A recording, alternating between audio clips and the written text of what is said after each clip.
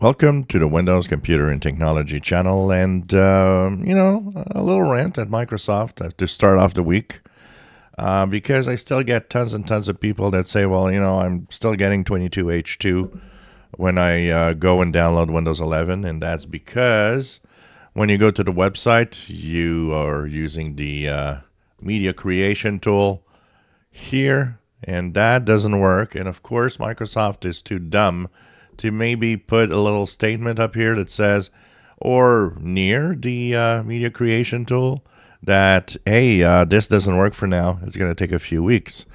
So uh, this is uh, incredible. And Microsoft didn't even issue any statement.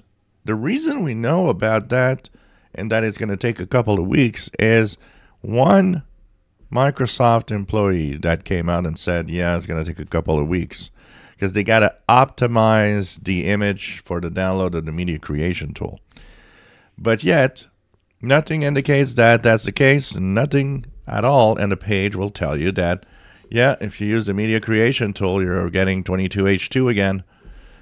I I don't get it. Uh, why is it so complicated to do little changes like this? Why is it so complicated for Microsoft to just say, yeah, the media creation tool will be updated on that date, and that's it. And for now, you can actually have it, but you either use the installation assistant there or you download it from the image directly here.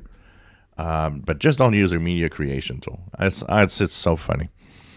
Uh, and for those that say, no, no, the media creation tool is fun, I got 23H2 when I used it, that's because when you installed, your PC got the download of 23H2. It got the update. The media creation tool is 22H2. If you look at the image, if you look at the dates, you will see that you're getting 22H2.